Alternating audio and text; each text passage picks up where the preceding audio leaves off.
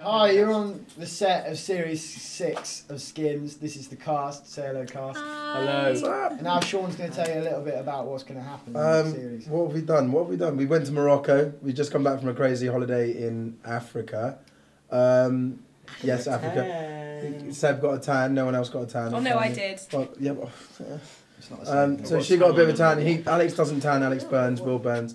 And um, we just got back from this crazy holiday. Um, and something very, Something very crazy went down. Yeah. some mad, messed up stuff happened, and which has led to these two playing music for.